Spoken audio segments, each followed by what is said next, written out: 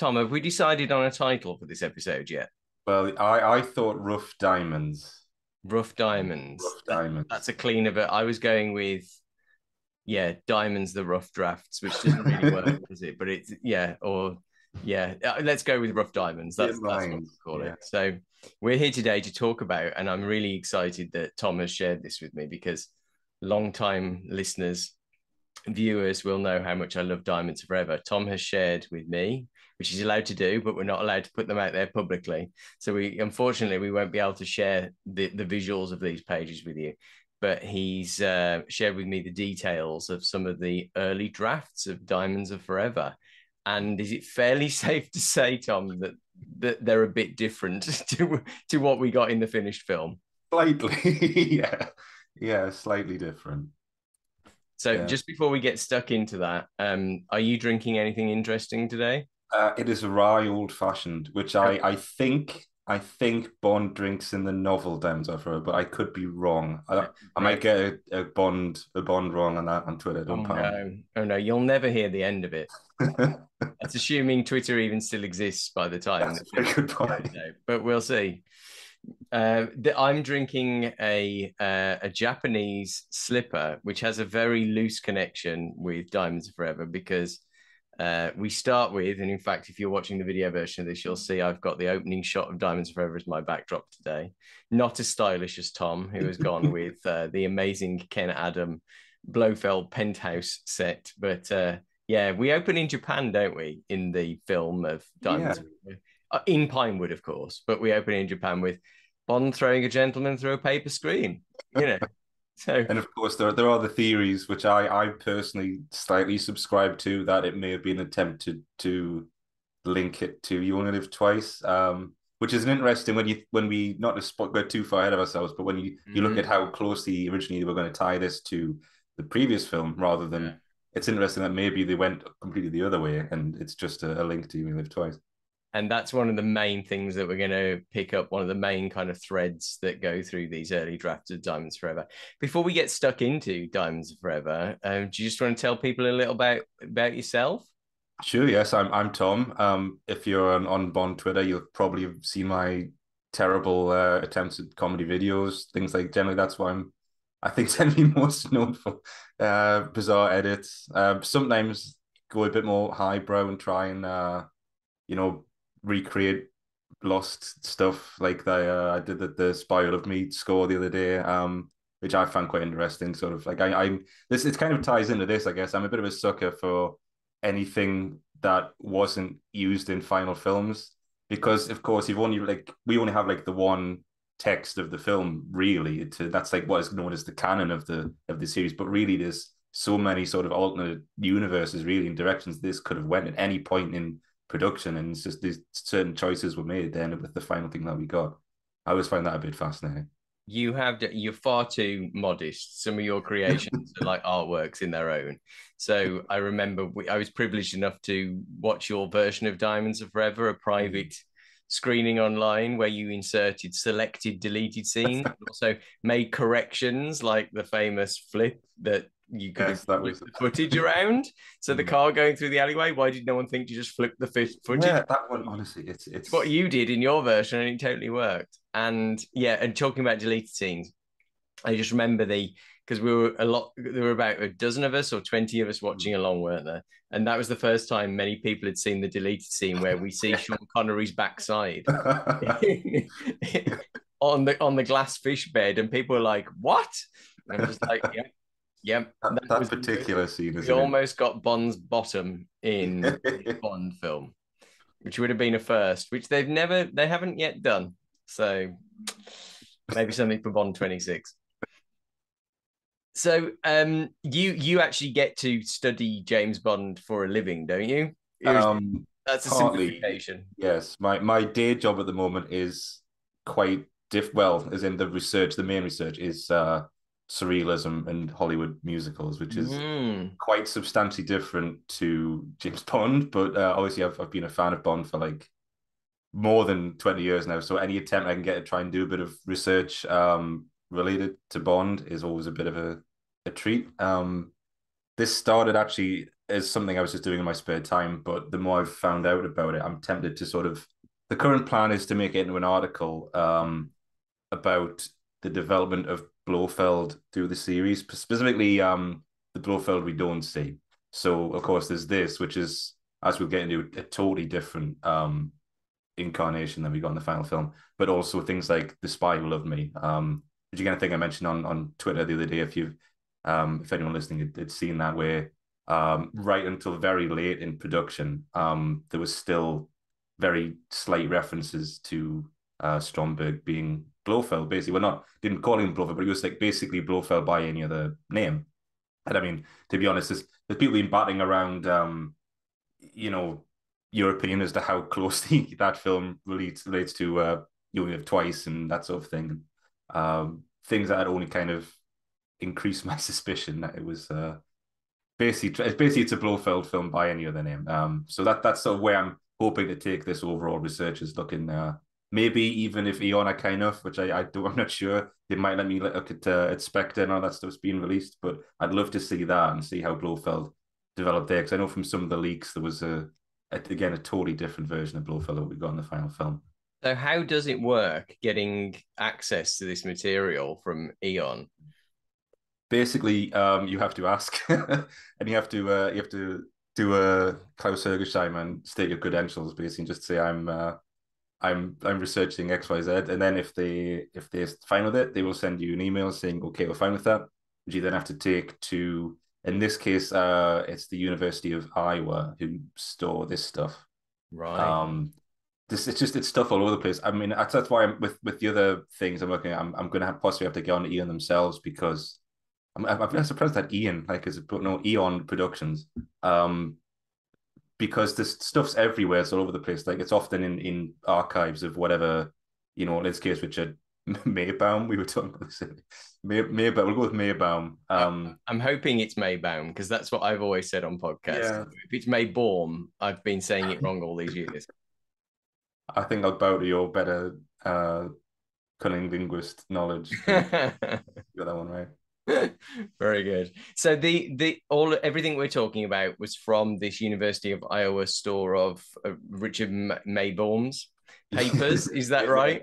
Yes, Mr. Maibaum's yeah. uh, things. I mean, there was there's a lot more in the particular folder than this. Yeah, like this is part of a, a big backlog of treatments that he did, and um, that's the one thing about these that these never got as far as a script stage. Sadly, um, was only treatments, which if you don't know what treatment is, it's basically a prose long form version of the overall script, often with bits of dialogue thrown in, but not like it's not it's not formatted like a script. It's more formatted like a short story, but um, often just you know run on sentences that sort of thing. It's very it's very loose. Um, so we don't really have like a full picture, I guess, of what this would look mm-hmm. like. But you can sort of with with what we have, we've got like what like forty pages of over different treatments. You can you can get a good idea of what um what this might look like. Yeah, so some of the treatments were actually quite detailed, weren't there? Although what I did notice is that um, he probably gets kind of less interested as he goes on.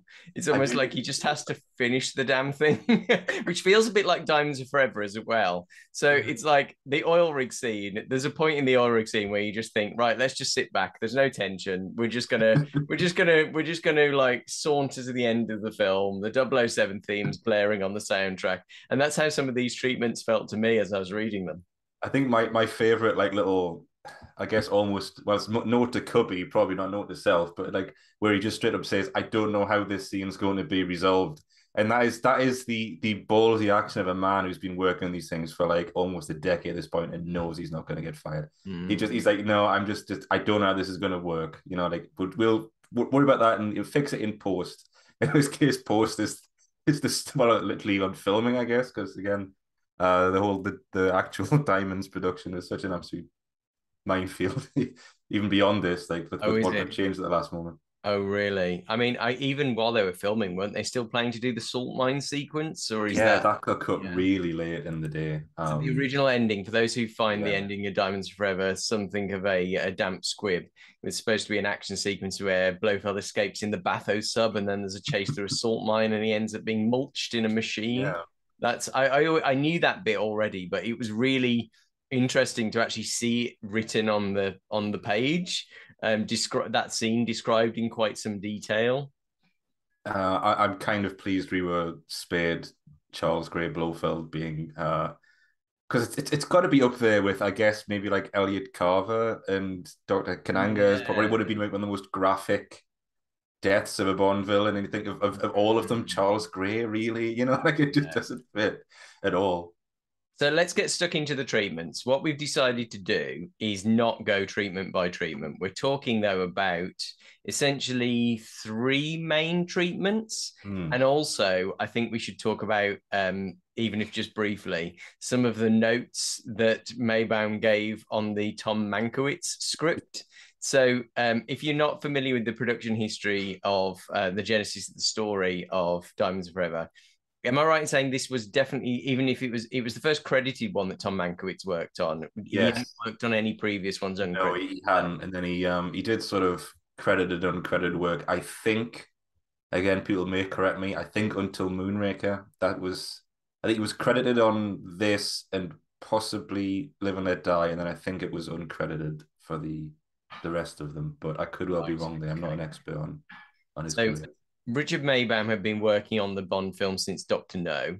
Hmm. Um, and then he actually his last contribution was License to Kill, wasn't it? Yeah, it was like I think the guy was like in his eighties by then as well. He worked on it really late, and it was um, it was like I mean he died between um, License to Kill and Goldeneye. So whether he would have worked on Goldeneye if he'd still been alive, I, I it's unknown. I don't know whether you know it's it was kind of a, a script change that was forcing them, I guess, but it's interesting. So, I think we'll just do this as a disclaimer now. We're going to find some of his decisions quite questionable, to put it mildly, um, as we go. But we, we, it comes from a place of love because this guy obviously made a massive contribution to the Bond series over the years. Um, I'm I am quite glad that Tom Mankiewicz ended up on Diamonds Forever because, as I say, I love the tone of that film. And it's fair to say that they had very different approaches. So we'll get stuck into that as well. I think probably the best way to summarize this is um, you sent me a you sent me a message um, a few days ago um, after I'd had a read of these treatments and I'd sent you my notes and my reactions to them. And you said to me, notwithstanding Maibaum's obvious sexism, racism, and homophobia, reading his stuff is about 50% ahead of his time. And a lot of Diamonds Forever treatment stuff feels like it could be in a Craig film, and 50% absolutely deranged. So I think that that really summarizes it for me because there are some things in here you go, what? yeah. And and it, I, I, imagine listeners are going to have a similar reaction to, to me as I was reading them. I was messaging you as I was reading them. And I was like, I, I was running out of shocked face emojis at some of the things that were coming up in these treatments. So we're going to talk, but had there, but you're absolutely right. There's loads of stuff here that mm actually ends up getting recycled later in the series. Yeah. I mean, that we all know this about the Bond series. Ideas, ne- you know, even if it takes 30, 40 years, they never forget about things that were were moved. And perhaps some of the more bizarre things in here, this may eventually end up in the Bond films. We'll see how it goes. So we're going to talk about those, the ideas that get recycled in later films, and then also we're going to talk about how more elements from the Fleming novels found could have found their way into Diamonds of Forever, um, and not just the novel of Diamonds of Forever, which is not really the story of the film Diamonds of Forever, but also the story of You Only Live Twice from Fleming, and also uh, there's a lot more in these treatments that tr- basically May if Maibaum had had his way, this would have been much more of uh, this is my reading of it anyway. Tom, you may disagree. It would have been much more of a a direct continuation of On Her Majesty's Secret Service. Hundred percent. I mean, I think if this had been produced, it would have been the first direct sequel. You know, mm. decades before Quantum of Solace came along. Because of course, I mean, the Connery era he had sort of he had loose threads of other films being mentioned. You know, and that sort of thing in dialogue briefly. Like, uh, and there's that that one deleted reference in the Thunderball script that I think I put on Twitter, which I really love, where uh, in even as late as in the shooting script, must have been changed in in post. Uh, Blofeld mentions uh, Rosa Klebb in the Spectre meeting scene. That gets changed to uh, Jacques Bouvar in the actual yeah. film. But even even then, you know, there, were, there, were, there was this kind of this thread, loose continuity thread through the Connery film, but this was kind of like the first direct, like proper direct sequel, even more so than you know Doctor No and From with Love, where you know the Spectre plot is in response to Bond's actions. No, know this is a full on emotional sequel with reoccurring characters and all sorts of things like that.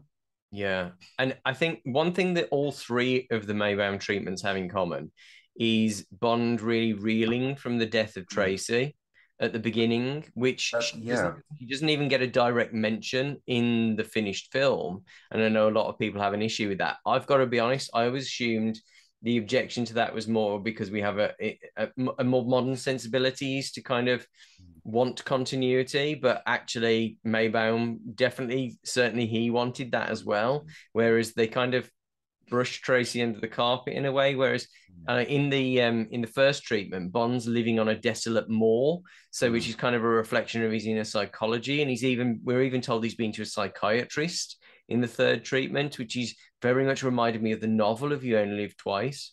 Yes. Yeah.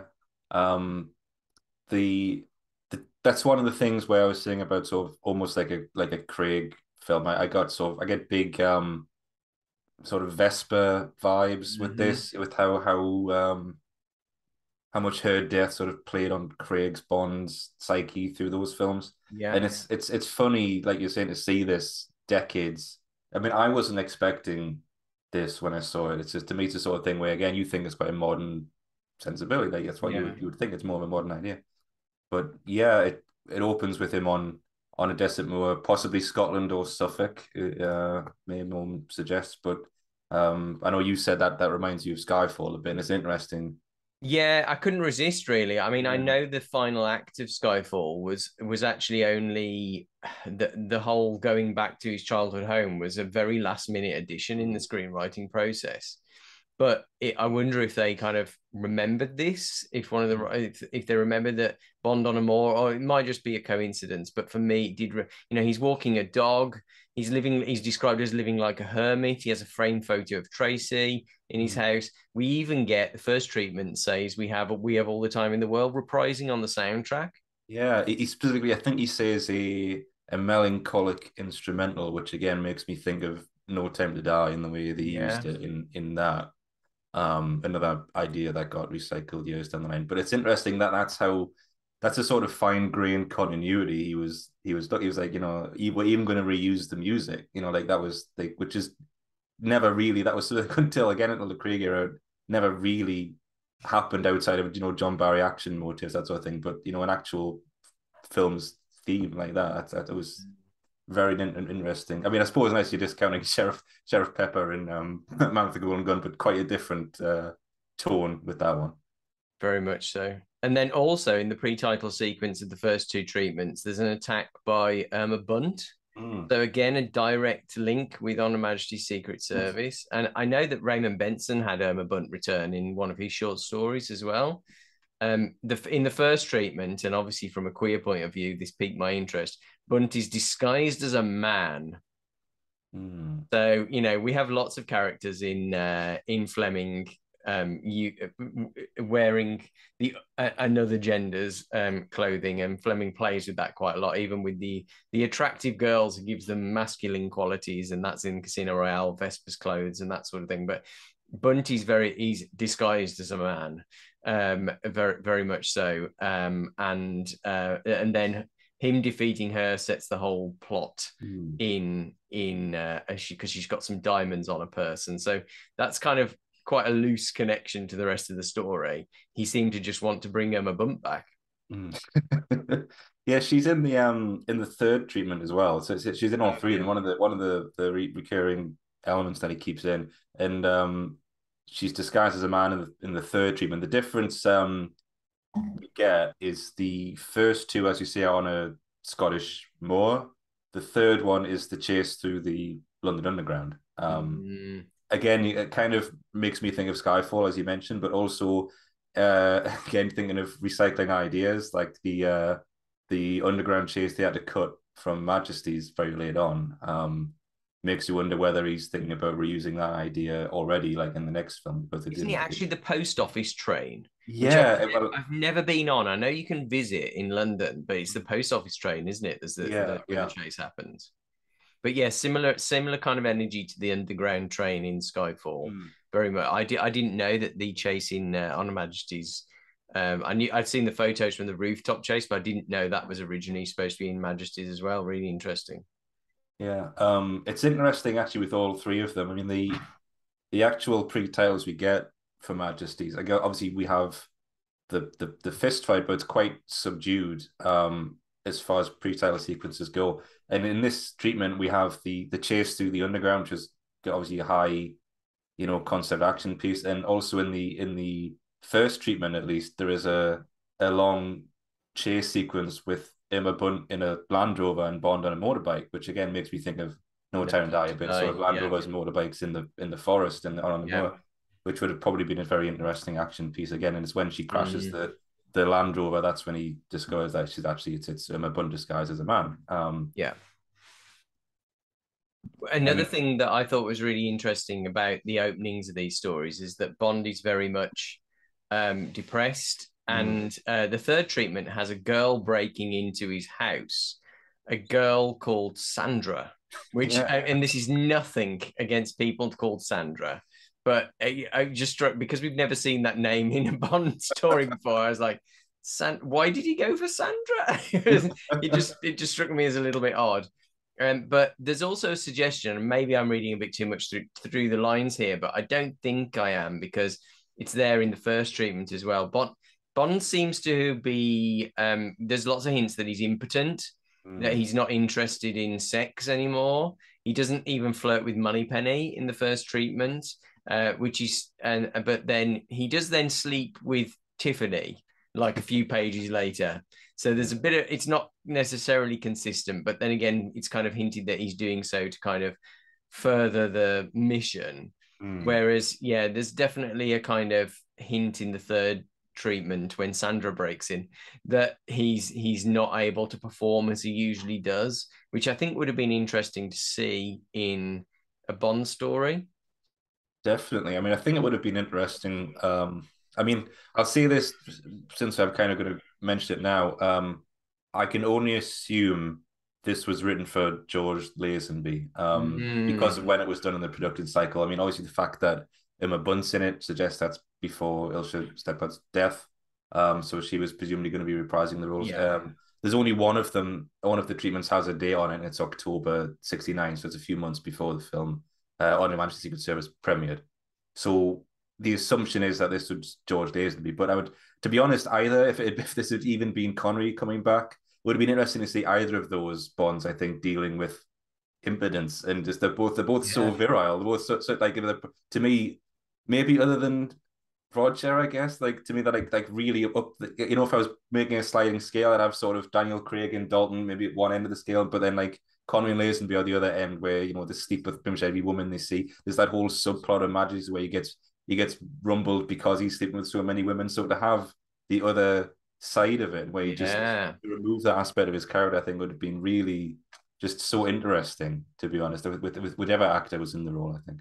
I, I think the only time we really ever get a hint of that is in Skyfall, and it's sublimated into him not being able to fire a gun much. Mm. um, you know, uh, so after, he, he is shown in bed with a woman, looking not exactly ecstatic, and then he has to go out and um, uh, and is, is it does he sleep with the woman and then go out to the bar to live dangerously with a scorpion and try to drink a shot with a scorpion yeah. on his hand i think i've got those the right way around so it is sort of coming in skyfall but not as explicitly as it is in these treatments here there is so much skyfall stuff in here really where yeah. bond like um loses it really in in some ways and we don't get that in diamonds at all. There's not even really much of a hint of animosity between him and blofeld considering what happened in the previous film. I know that annoys people but mm. I, am okay with it. The, the only actually since since we're mentioning that now i will say there's an interesting thing i found in one of the much later drafts one of the i think it's the mabel mankiewicz draft because uh, I know we talked a bit about sort of how this the film developed, but there was a, a a period where they were they collaborated on on a draft, and mm. you get a lot of Mm. weird, to- totally jarring things because you know that as we said, they, they approached the film very differently. But um, one of the, the it must be one of the, the last vestiges, and I guess it was probably from Maibaum rather than Mankiewicz with how Mankiewicz ended up going. Uh, when Bond uh, confronts Blofeld in his penthouse in Vegas, as he's leaving, as he's going to the when you know they have the whole spiel. That's all word for word what's in the film. You know, it's, it's late. I'm tired. So much left to do. As Bond's turning to leave, he says, "You still owe me a life," and that's the only reference you get in the entire thing to Oh wow. Tracy. She doesn't say Tracy. She's not mentioned at any other point, but you can only assume that that's what that's Yeah. referring to.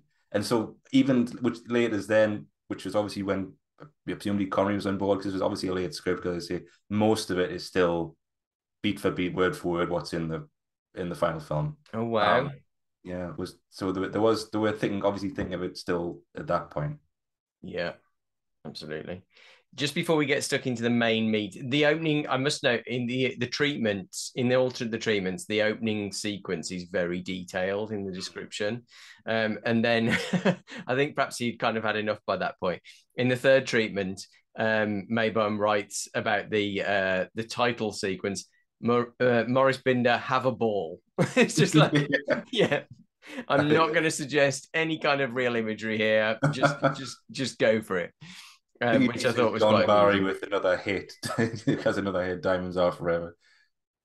Yeah, so it's yeah. just like pass over to those guys. The music and the and the um, Mor- Maurice Binder will, will sort the rest. Mm. Um, the main action, the locations were really quite different in some Mm. of the treatments. So we actually get a sequence in Barcelona, which is Mm. one of my all-time I want to see Bond there locations.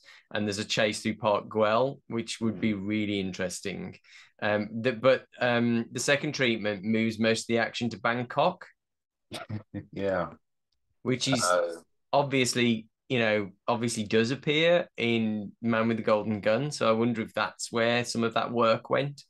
I I would suspect. I mean, this is sort of like back in my mind stuff, but I, I I'm sure I've come across a mention somewhere of uh Cubby Broccoli really wanting a film set in the far east, Okay. and maybe he was pushing it in this because there's an interesting little note in one of these treatments where Mankiewicz has in, in brackets just straight up says, "I don't know much about the far east." So I can't make uh, you know the background of this as detailed as I would like it to be. Um, even though he, as you mentioned in your notes, he puts in so many like little like almost Fleming esque bits where he's clearly researched something. He's read this in a book or a magazine somewhere, and he goes on like a paragraph explanation of why you know they use umbrellas in Thailand. That's yeah, parasols. Yeah. yeah, it's, it's so there is that. I think he did clearly do some work, but um, makes me wonder whether that came from from Cubby, and then they didn't do it in this film, so they ended up doing it, you know, a couple of years later in in Man of the Golden Gun. It is a bit Fleming-like in the sense that he does almost put his research into the treatment as well. So you're right, and I think that was probably for everyone else on the production to kind of, uh, you know, or he just he just done that research. He thought, right, I need to leave it somewhere. I'll leave it in this this story treatment here. Um, I think there's some details which you know we could go into all of this, but um, uh, but uh, there are some details from the Diamonds Forever novel, like Rufus B. Saye actually Mm. running a diamond shop, which is definitely in the uh, which is in the book, um, and that kind of thing. Were there any particular details from the books which you were thinking, oh, that's interesting to see this crop this crop up? Well, yeah, yeah. As you say, Rufus B. Saye he's he's an actual person in this. He's not a he's, he's a Mm. Jack Spang um, alias in the novel, Mm. and he's an actual character this. He's a, he's a Spectre agent, and he reappears sort of um, later on at this big Spectre meeting. Well, big Spectre meeting. It's like six guys. It's interesting, sort of how how Spectre diminishes sort of film on film. Um, I know people almost say like. Uh, uh, with diamonds, it's like it's just Blofeld now, and that's it. Well, he's got lots of goons, but it's basically just him. You know, you Yeah. go from from from from lots of big bombings all the way through. But the um interestingly, I would say one thing about the novel, which is almost a, a reversal, is that we have nothing in Vegas in these treatments. No, which you're absolutely right. Yeah. happen in the final film. They go almost go back to the Fleming novel in a way with uh, Mm, the Vegas setting, which is just never appears at any point in any of these. no, um, you're right. Um, but we get we get a lot of stuff in, in London as well, which again is it's a diff, it's a deviation from the novel. But I I really liked um because I know I think it's is it Calvin Dyson's mentioned that the reason he uh, is mourns the loss of that Majesty's train sequence is we don't get enough of Bond in 60s London. We don't really get any of Bond in you think about it. And this whole protracted sequences here, even at Bond's home, um, we get when he's when Tiffany's uh, there sitting with him, we get an attack from some some goons at his home, which I find really interesting. Um, it's described as like a a mews house in Chelsea rather than the um the the, the Fleming flat. Maybe we think of uh Steed's house in mm. the Avengers. We know obviously that was very trendy at the time. Whether yeah. Uh, they've been the drawing on that sort of uh, that sort of imagery, but um the idea of him being attacked in his, his house or where it's the safest again that's something where that's a theme you get in skyfall again yeah. of the attack on on mi6 again with and suppose the world is not enough as well that's sort of a a and Wade um, favorite of an attack where you feel you're the most safe. And I guess we, we get on this, but that kind of happens again in these drafts uh, in relation to the MI6 staff, specifically M, um, with something that comes up. Yeah, so uh, we can jump around and bring yeah. in the story elements. I mean, yeah, so M, uh, well, Miss Moneypenny goes on a mission in the third mm. treatment. Uh, M sends her. Uh, there's a bit of a weird one with um, Moneypenny suddenly prudish around some erotic carvings, and I'm just like, um, really, Moneypenny yeah. prudish? I don't think so. Probably the least prudish person. But then what you were alluding to, well, there's not enough. In the third treatment, M's actually held hostage by Blofeld and held in a hippie colony. Which I'm just like, okay. Um, yeah, this that was one of the deranged bits. I yeah, was like, uh, getting the deranged bit you could almost imagine M kind of walking out after being held there for a few days and he's being turned into a hippie. which is like the fate worse than death for the character of M. Yeah. Yeah, so yeah, but we get we as we get M in the field, we get Q in the field as well. Um in a I guess years before uh license to kill. Um, but this time he's actually sanctioned. There's a weird bit in in the first two treatments where Bond actually tricks Q because uh, Q's the one who takes because the diamonds he gets from Irma Bunt, uh, they take to get verified and see where they come from. Which again, when you're talking about um, recurring plot elements, made me think of Die Another Day because this yes. the whole thing of uh, I suppose you could argue was was riffing on the original Diamonds Are film anyway, but yeah, uh, it's it's what I sort of got the vibe from this new mine that's popped up and no one knows where they come from is very much a Die Another Day plot point.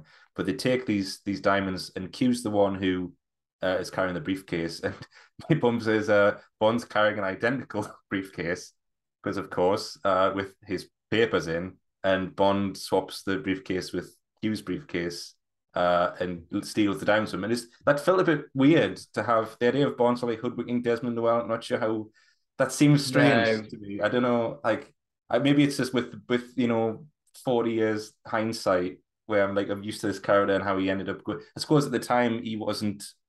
He only been in the you know as Q for you know what like five six years since yeah. then he was he's known as Q seven years. So maybe people didn't have the attachment to them. But to me, that the Bond Q is like Desmond Well and Q is the, the one character I think Bond shouldn't be, you know, yeah. It feels weird. He's like his granddad, you know. It's like it's it just felt odd. Um, but yeah, there's there's a lot more. That's why I was saying another and on what I'm saying about like a Craigie film. Um, it, it's almost kind of felt like Spectre at some points with all of the MI6 yeah, people having something so. to do out in the field. You know, it was it was more active. We even get 006 and 008 joining the attack from the mm. second treatment on the in the final sequence because M thinks Bond has completely lost it.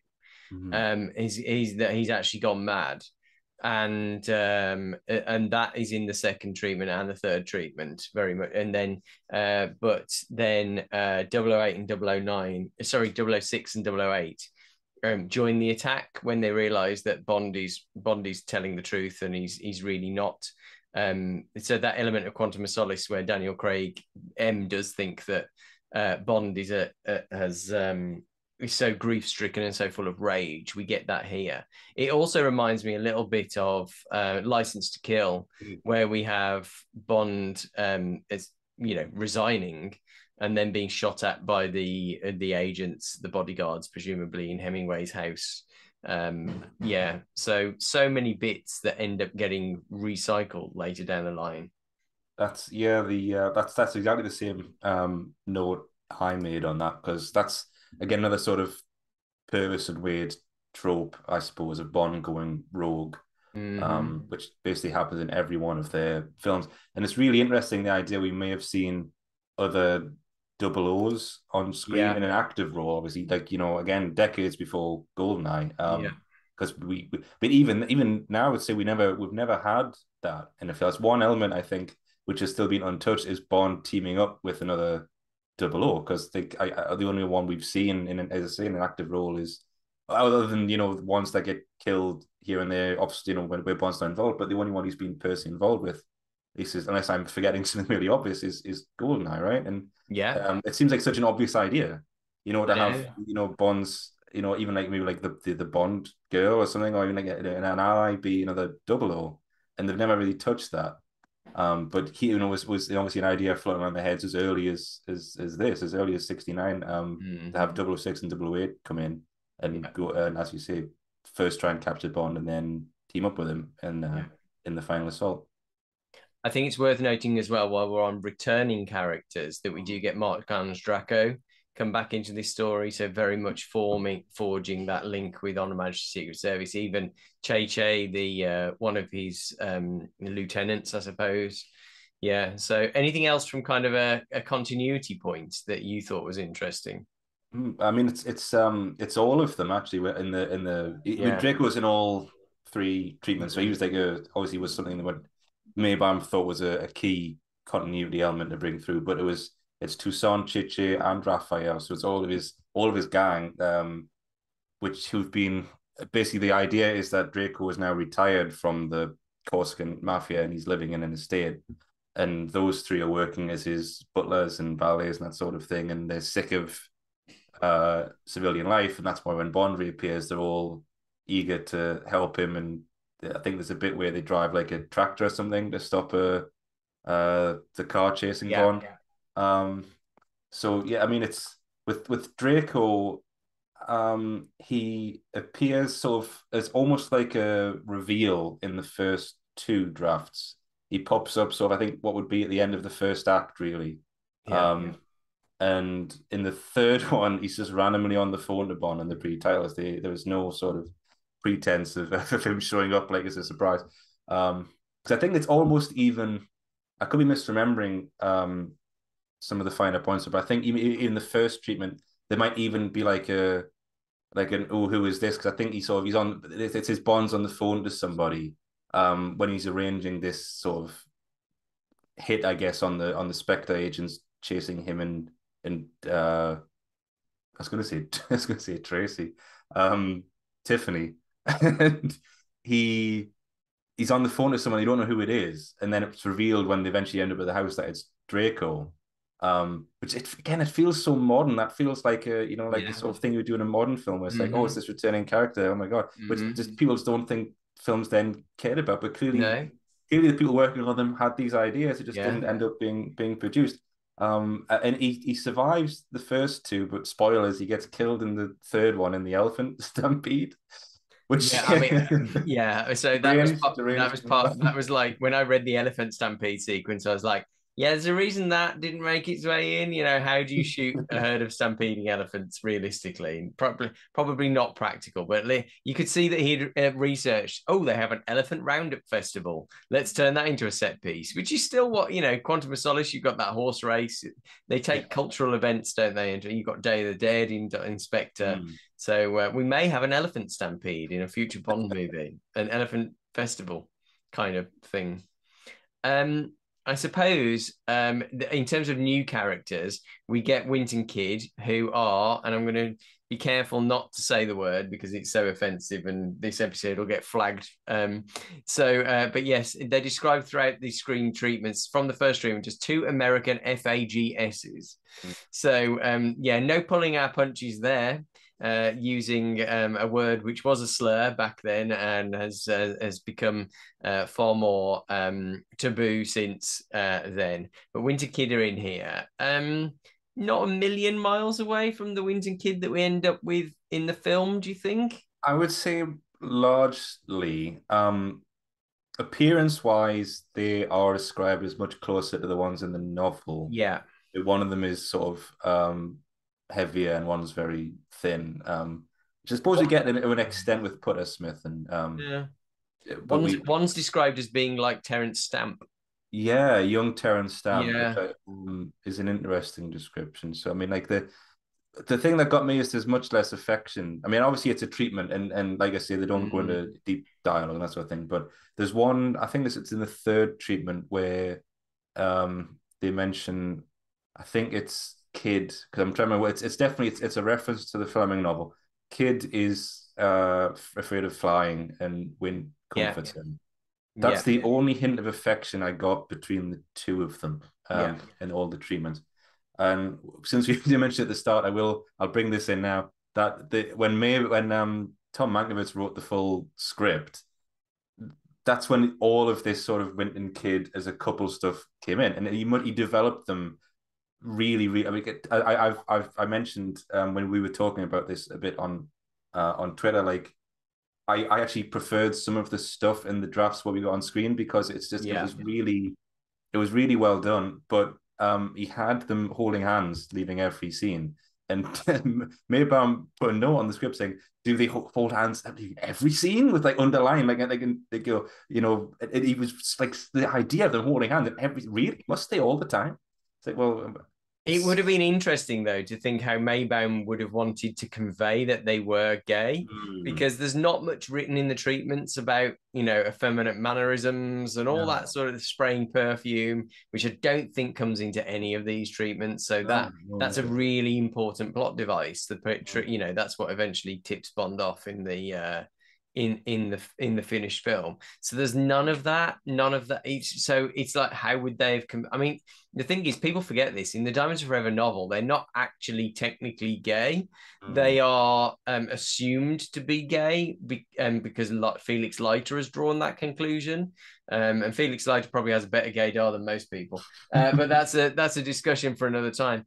Uh, but um, he's he's yeah, there's there's whereas I would do wonder how he would have thought about conveying that on screen without, yeah. It's interesting. I mean, part of me, I don't want to, I feel kind of bad, you know, like ragging on the guy. Um, but because obviously he's been dead for mm-hmm. decades, but it's just the vibe I get reading his stuff. Mm. I feel either he would have not acknowledged it at all and just sort of been like one of the things, you know, wink, wink, nudge, nudge, kind of like right, the okay. novel, or he'd straight up have just used the slur had somebody maybe. Oh, okay. That's wow. just the fact because he, he he uses that word so. I know he's from a, a, different time, but as you say, it was still offensive then, and and he uses it so freely.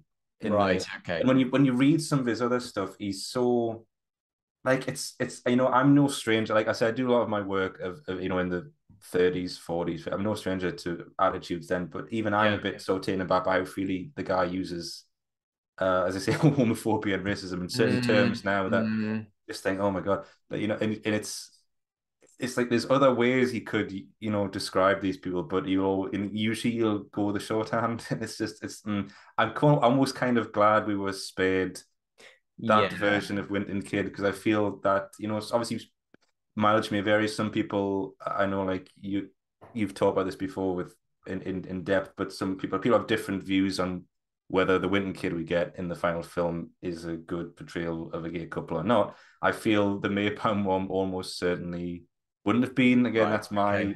that's just my reading of it. Mm. So I'm kind of pleased that we were spared that one. Mm. Um, don't think that would have aged the film particularly well. Yeah, I think you're probably right. Um, and there are some more elements that we might term problematic. Um, there's a, the whole, especially the, the the impotence thing. He's very much there in the third treatment um, over the first two. There's a line, and again, I'm going to choose my words carefully here, but um, no woman can um, uh, w- what you do to a light bulb to get it into the socket. No woman can uh, begin with an S. No woman can that word James Bond and not fall in love with him. I'm like, okay. Uh, and we also get Tiffany's rape backstory from the novel, um, but it's actually amped up somewhat. She was actually gang raped in the treatment of the story, and yeah, it's ugh, it, it makes quite un, it made quite uncomfortable reading to be honest.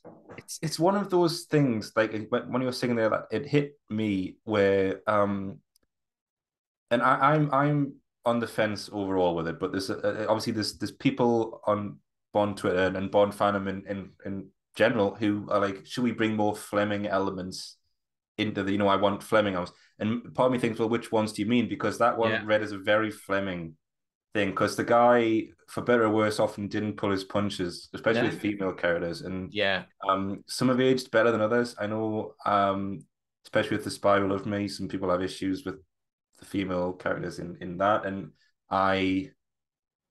And I, I think overall it's probably one of the more developed female characters fell mm-hmm. But then again, you think how much sensitivity would think these things have been dealt with in the Bond films, eh, eh, eh, uh, in in the Eon films, and um, again with the tone, especially. I know obviously this is clearly going with a much more serious tone, kind of like Majesties, but the overall, it's like is is you know implied or possibly even explicit gang rape, the sort of thing you would expect in a in a Bond film. Like I don't yeah. I don't know. It's like again, it's very Fleming, but maybe it's one of those things again. Just could they have dealt with that tactfully and you know because it's yeah. not the sort of thing i think you can just sort of mention as an offhand comment um you know it's got to affect her character deep i suppose i suppose to be fair to me about you just try this like there's a whole i think it might be the third treatment there's like a whole paragraph or two delving into her um psyche and how she's affected by it but again it, it kind of boils down to she she can't love anybody because yeah. and it's like that's a bit of a simplistic reading of somebody who's been gang raped. And it's it's again maybe it's better that they moved away from that in the in the yeah. In the I mean, I mean, just to go back to what he said about the the feedback on the Mankiewicz script that Maibaum gave, um, he he he recognised that Mankiewicz's version was far more uh, of a fantasy, Mm. Um, so he even points out the story tends towards too much kidding itself at times.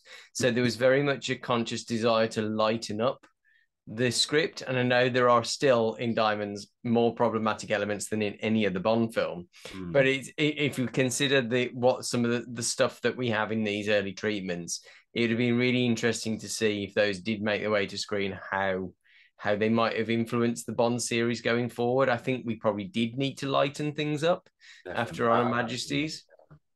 I mean, people complain, rightly so, about the uh, you only live twice turning Japanese scene, and just like yeah. the vibe I get from reading some of these treatments is like we ain't seen nothing yet. You know, we could it could have been a lot worse with some of the things. I mean, the one that stood out to me was that we have um, a Oxford educated um, uh, um, field agent, um, a bit like Kamran Shah in The Living Daylights. You know, someone who's one of the one of the locals, but turns out to be someone who's been westernized, mm-hmm. which is a trope that you do get several times through the Bond series. Actually, as soon as you find out, like Countess Lisl in uh, For Your Eyes Only, as well. As soon as you find out she's from the north of England, with a re- I'm aware that I'm talking to someone here from the north of England with one of the re- dodgiest accents you could possibly have. But it, it's almost like the audience is supposed to relax at that point and go, "Oh, she's one of us."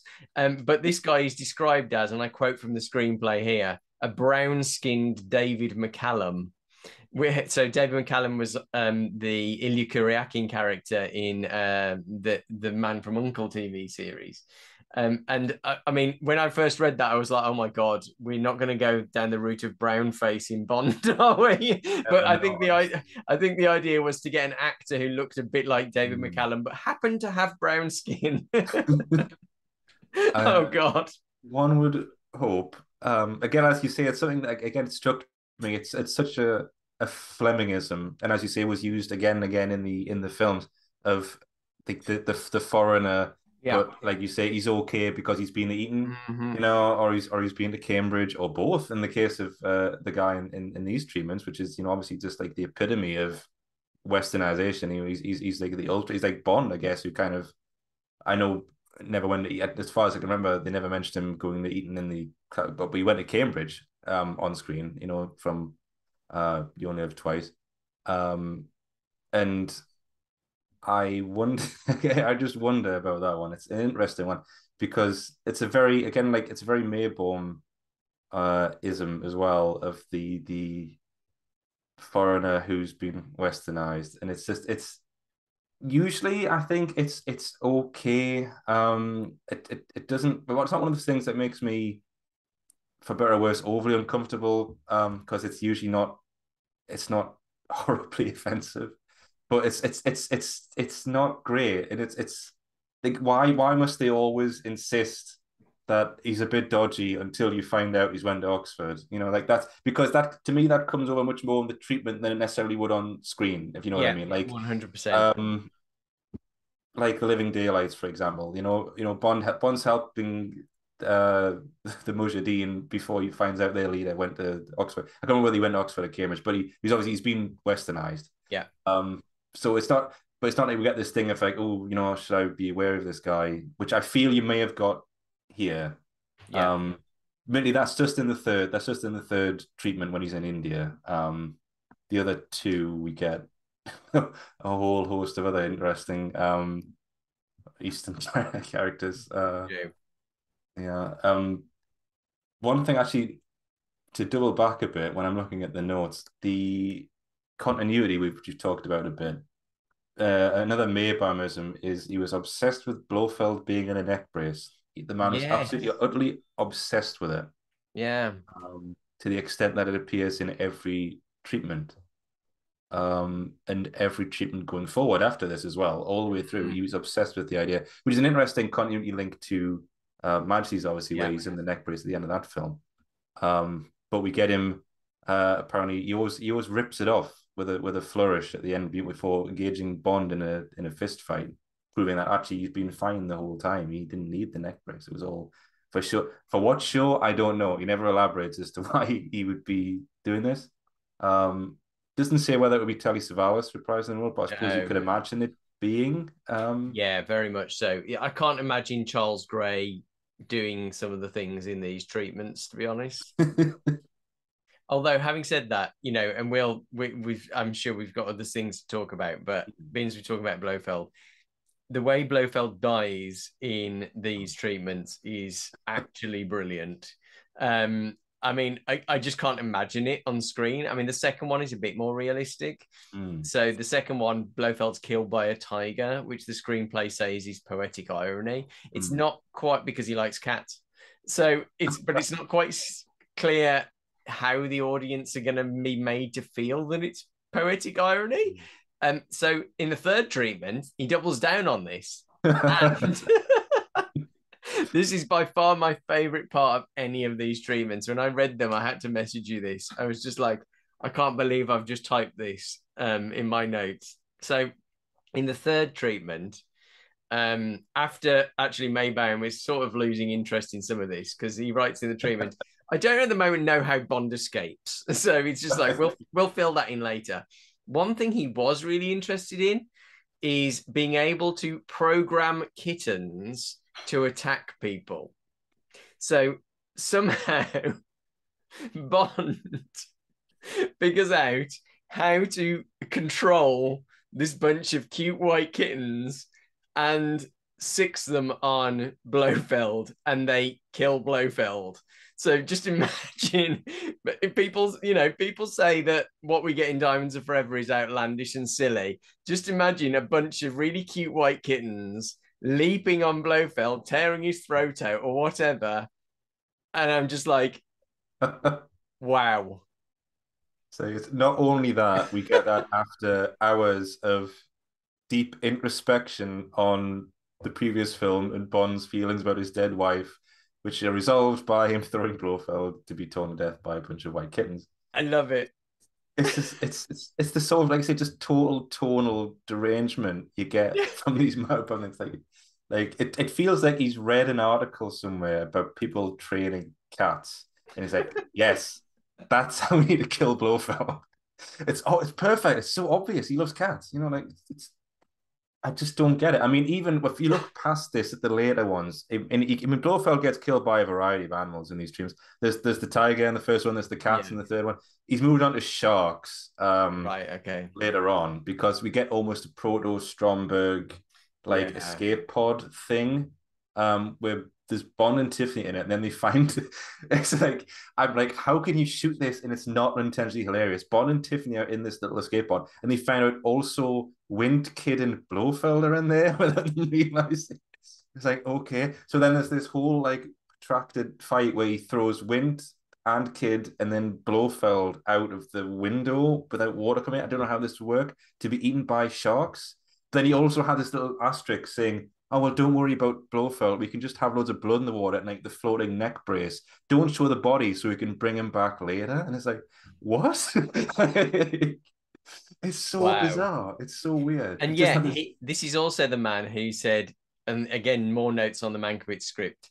Um the uh, basically the story isn't logical. Well yeah we know that. And that survives to the final film. Things like how does tiffany know about blofeld's cat Mm. I'm just like, yeah, we've always, we've always, well, always many of us have yeah. always pondered this in Diamonds Forever. And it seems to me, and you, you said in one of the messages to me, it's like they almost like took these notes and were just like, yeah, we don't care. we exactly, know, yeah. we know this doesn't make any sense, but we don't care.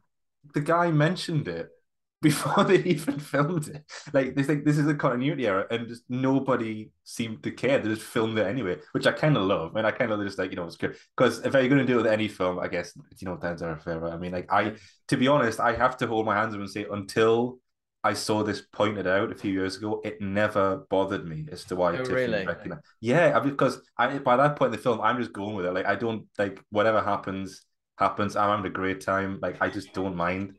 But it's interesting that he was like, yeah, like how does Tiffany know about the cat?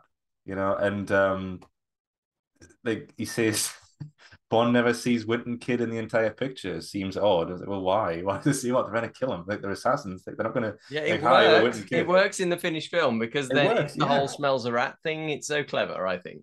Yeah, I mean the um, it's very tangent, but they they kind of go off on that um, even as late as the the shooting script, they're still going with the um the novel ending, which I guess we can talk about a bit because they go with that in the treatments mm. as well, where um well it's kind of a hybrid because Wint and Kid are coming as waiters serving the meal, but then they say they, they distract Bond to get him out of the room and say there's a call for you from yeah. Bullet White. Uh, and he goes out up to find there's no call, in which point they try to kill Tiffany with boiling oil. but then Bond comes back in and defeats them. Um, but we we get that in all three treatments where it's much more like the um the end of the novel where um Tiffany is trapped with Wint and Kid yeah, and Bond yeah. sort of abseils around the outside of the ship and goes through the portal, which I I kind of like, but then I've always said like one of my favorite ever. Like if, I, if I'm, if I'm people are saying like what's the most James Bond moment, I love that he susses out that they're not waiters because they don't know what claret is. But yeah. I've also said like how many innocent American waiters has he killed in this manner? Because to them it's Bordeaux, right? They wouldn't know it's claret. He just like offs every guy. Like Rothschilds is a claret. Yeah, yeah like, and they're Americans, like they logically wouldn't know. But he just like that's. I mean, I, I there's obviously the after aftershave and everything else. I mean, I, I kind of that whole sequence where he susses them out, I think is kind of great. It just wouldn't work if you'd yeah. seen them early in the film because you'd recognize them. But you know, it's like I love a bit of logical deduction from from Bond. Yeah. Where he's like puts piecing things together. Yeah. Um, I it was the was the cats thing the kind of most mad thing for you in this, or is um, are there any other deranged bits which you think, wow? It's it's. Do I only have to pick one? Um, oh, you can ha- you can have a couple. There's, I mean, the whole the whole thing to me had this like slight Bond Uncanny Valley vibe to it, you know, mm-hmm. where it was like, as you say, there's the there's the Blofeld getting eaten by cats. There's Blofeld wearing the neck brace, which he tears off like a wild animal. He's describing it's it's so odd. There's uh, even in the in the pre-titles bit where, as we said, there's this whole thing of Bond being very melancholic. He's walking a dog on a moor. We yeah. see a picture of Tracy. We hear we have all the time in the world. And then Maibaum says a very voluptuous skydiver drops out of the, you know, and, and it's just like it's such a tonal shift. Like is where that is Sandra? Uh, yeah. Um, no, that's Tiffany in the first. Oh, okay, it's Tiffany. Yeah. Yeah, I, I, I think he wasn't sure oh, how that's to it, yeah. use Tiffany at first. Like sort of in the first mm. two, um, treatments, she's she's introduced like in the pre-tales. She's, she's very early on. She just drops out the sky. That's it. And um, he she he seen Bond talk for a bit, and then Bond sees Irma Bunt, and then you have the whole chasings with that. But it's just it's so it, it, the whole thing seems weird. Like I also made a note saying there's a, a bit in the second treatment where um after getting the diamonds evaluated or not, and you start the whole um pipeline off to Barcelona, Bond uh, follows Tiffany to a restaurant and sits down with her, and they have this sort of conversation where he's kind of like implying that he's onto her, uh, knows what she's doing, and he fakes being drunk. And that seems like such like a Roger, like a like a mid like like I could see Roger doing that. George Lazenby less so, right? Like even Connery less so. Like it's it's such like almost like like how can you play that in a way that isn't slapstick? You know, like it's yeah. it's got to be funny because just it would seem it would seem weird if he was just like playing that straight, like oh I'm drunk and but and then goes off and makes a call to to MI6 and turns out he's sober the whole time and he knows exactly mm. what's been mm. going on. Mm. Um, but the whole, see, as I say, the whole vibe I got was just weird. I mean, the third treatment is all over the place. That is, I mean, I I should say I, I rank them because the the the four that they came in was all like all over the shop, and this is my logical um placement. Even though the third one is in many ways totally different from the other yeah, two. It is, yeah. He, he straight up he says in the second one, this is the second treatment, and mentions certain points that are like as quote unquote like the first treatment, which can only refer to what I think are the first. And so maybe this the third one was like a preliminary treatment. I'm not sure. Okay. So I've got it's either the first or the third. Either way, this whole you know the whole sequel plot point was dropped after this. So yeah, I guess the order doesn't hugely matter. But um, in the in the third one, it just it, it I the, the the feeling I got was like um the Goldfinger novel where it's a bit all over the place and Bond's working with the enemy, and then they suss yeah. him out, so he goes, then he goes back, and it's just there's so many double and triple crosses. Um, again, later element that got, got used. Bond joins Spectre, like um, the John Gardner novel, uh, Roll of Honor. He joins Spectre. Like, like, why why does he join Spectre? But then um, there's that whole bit where Double and Six and Double Eight try and kill him, and that's what Spectre like. Oh well, I guess he's you know again that's get a bit like License to Kill, I guess, yeah. where you know yeah. he's they think he's being kicked out of MI6, so he's willing to join Spectre, but his whole plan is that he and this other Spectre agent will join forces and overthrow Blofeld. it's just it's so weird. It's such an odd like like it maybe might work in a novel like Fleming's Goldfinger. Would it work on screen? Would it be a lot of just dialogue and flip flopping, backtracking? Oh, now he's a double agent. Now he's not. I don't. I just don't know. It, it, it Do you wonder, I wonder how much of this was a consequence of not knowing certain probably by the third treatment stage who was going to be bond did they mm. definitely and there's a note in the in the third treatment um no it's the notes on the mankiewicz script he says the real bond is back yeah there was yeah. definitely an acknowledgement that sean connery was cast by that point mm. but i think they were i think for me these treatments are kind of this might be wrong but it's almost like they are assuming george lazenby and yeah. then they're less certain and so this is when the crazy ideas come mm. in. And I think, as often has happened throughout Bond, they've had to reinvent him. And it's like the third treatment. I'm glad you said that about the third treatment. The third treatment for me is the one which I made the most notes on. Yeah. Because it's like the anything goes script, including the attack kittens. You know, I never thought I'd get to write in my notes white cats tear Blofeld to pieces on Bond's command. That mm. I mean, for me, that is what this third treatment is all all about. It's just got all of these ingredients and it's so long that treatment yeah. that would make like a four hour movie it moves through so many different locations it's got all of these elements to it um yeah and i think they were probably um in a in a space which was very liminal i know i mm. overuse that word but very everything was kind of uncertain and not pinned mm. down but at the same time it's really interesting how many of those ingredients we then uh, uh, we haven't even gone through the fact that there's a python yeah. attack in there, which there's appears in Moonraker. You get the Taj Mahal, which we get a shot of in Octopussy.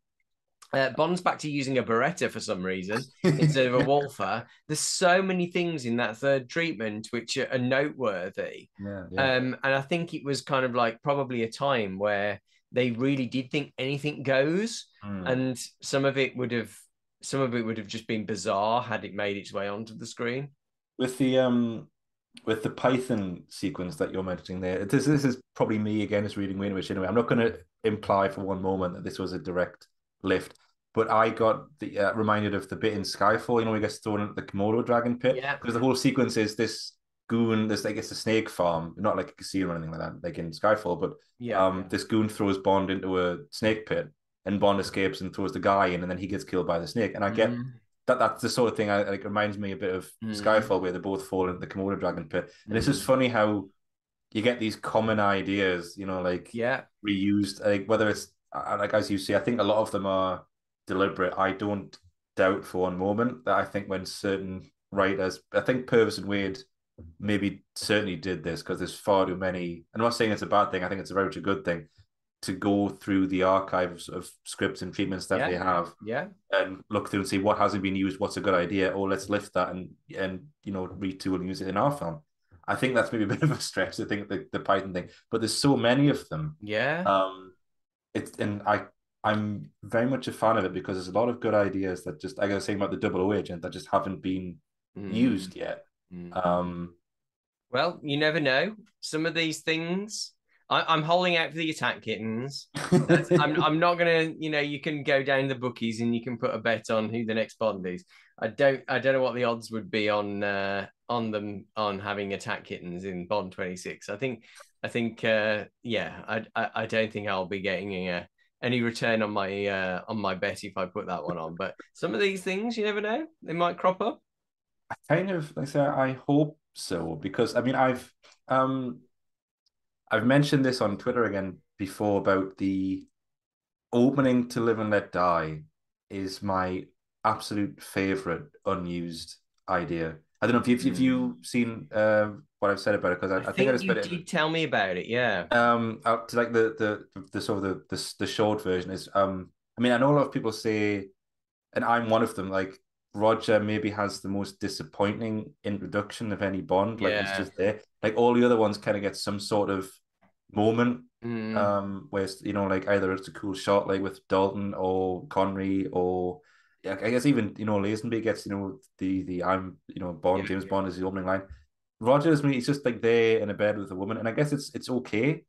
But um, in the in the Live and Let Die original script, which apparently I I've done a lot of research at this, I was really hoping they'd shot it, and apparently they didn't. It was it was a last minute cut, Right. and because it's in the shooting script, I was like, logically, they maybe they've shot this because he's in Rome and he's meeting these two uh henchmen, and there's some sort of thing being arranged where he's going to buy these documents, and it's on a rooftop in in Rome, which you don't know is a rooftop at the start, but he uh randomly just knocks out or shoots. It's I'm un- it's unclear which one of the henchmen. The other one's saying, you know, uh, oh, we said there was, there was no weapons, and then Bond emerges from the shadows and says, you know, you said you'd come alone, and says, you know, whom I told you, I'm Mister Bond. James. Oh, sorry. He doesn't. It's off screen when he says that um, you said you'd come alone, and then he emerges from the shadows and says Bond, James Bond. Like that was such a great Roger, like in that film, Yeah, especially, I that think that really great. could have worked really, really well. Um, and so I'm I'm very much in favor of of later writers going back and mining these ideas because that could be that could work to me. I think with minimal retooling, Yeah. that could work as an introduction in the next film because it's it's not an oldish, you know, like an, an old idea. It really could work. Um, I, I'm there's this outside the I would say there's there's a few the Elephant Roundup maybe um maybe wouldn't fly in another film. Maybe the kittens. I don't know. I think it depends what angle they go with. Maybe the kittens could work. Depends what tone they go with. If they go with something, if it depends what tone they go with. Mm. Do you think we could do lightening up a little bit? Do you think uh, this is sort of the similar point um, that they were at? It's like, oh God, how do we follow on Her Majesty's? You know, we Mm. started, we ended on a downer. Do we? And I think, I think probably they made the right call, but I know lots Yeah, of people would I- I disagree with me that they went the other way. I know this is a thing where a lot of people, um, again, I see on, on Bond Twitter, it's like it's that's why this was really interesting to me because one of the you see it over and over again where people make some great like fan art of the posters and things Yeah. about if, what if George Lazenby was in Diamonds. And it turns out I'm like I'm really glad he wasn't in Diamonds. I mean, I loved I love the diamonds that we got. I really like the one Yeah. that's I, I'm really pleased that that's I mean, I know. I think I think a lot of them are getting a, a, a reappraisal. Where people, just, everyone has their own favorite for a reason. They're putting it forward. I've always kind of loved diamonds. I'm really pleased that it's people are starting to know your you your good self, one of the main proponents of that. I'm so pleased that that's getting more love. I've thought um, of rebranding Licence To Queer as a Diamonds Are Forever fan site. To be honest, I wouldn't be against it. I mean, it maybe limit you'd be limited to things like this, like talking about the kittens. But you know, I suppose. But overall, I'm kind of pleased that we got what we got. Mm-hmm. Like, I mm-hmm. wouldn't trade it. This is, the, I mean, the, the only thing is, I guess you're just looking at treatments. I know it's it's limited. Maybe in an alternate universe, if we'd got this version and I read a treatment for the, you know, the Mankiewicz yeah. Charles Gray version, I'd be like, oh, thank God we didn't get that. That doesn't mm-hmm. seem to work at all. But no, it's just because what I'm used to. Yeah. But I mean, I, I think people who maybe read a lot of what I say know that I'm more of a light Bond fan overall. Yeah. You know, like I I've enjoyed the Like, I I love Casino Royale. You know, I, I I've I've enjoyed. I feel I'm in that I'm such a weird, like uncategorizable Bond fan in that I prefer light films. Yet, other than No Time to Die, which I wasn't a fan of, I enjoyed all of the Craig films.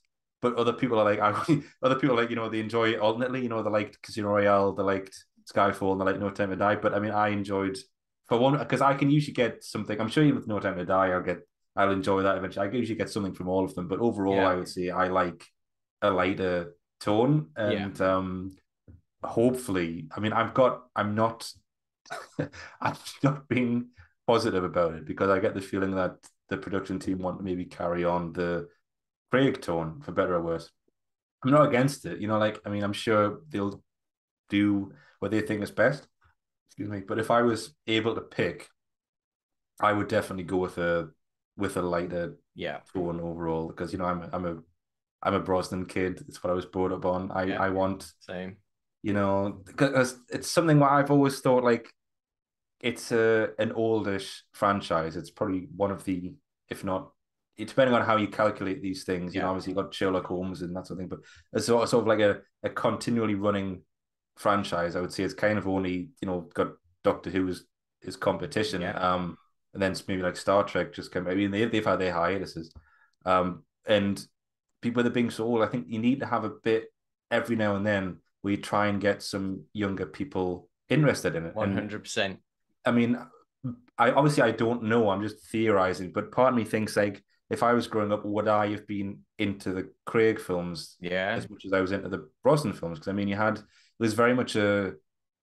I mean, whether whether the films were kid friendly, jury's out. But the whole the wider marketing with the you know the magazines and the video games, everything else, it was all kind of seemed geared towards getting a younger audience on board. And I feel after two decades, maybe now is the time to try doing that again because I know you've got a lot of competition with Marvel and that sort of thing. Mm. But you know the the fan it's going to die out eventually with with people you don't get more people interested. Totally. I've been saying this for years myself. Mm. They really do need to think about what a younger audience wants. Although having said that, I know quite a few younger people in my day job who really like the Daniel Craig films, mm. but um, and perhaps it's just because that's what they associate with Bond. Yeah. Uh, but then they also like A View to a Kill, and you know, there's things that are less serious. Um, so yeah, I mean, I I want to have my cake and eat it. I want the serious and the silly, ideally in the same film, which is I think what we kind of get in Diamonds. Obviously, more verging on silly sort of thing. There's no real psychological depth to anything going on,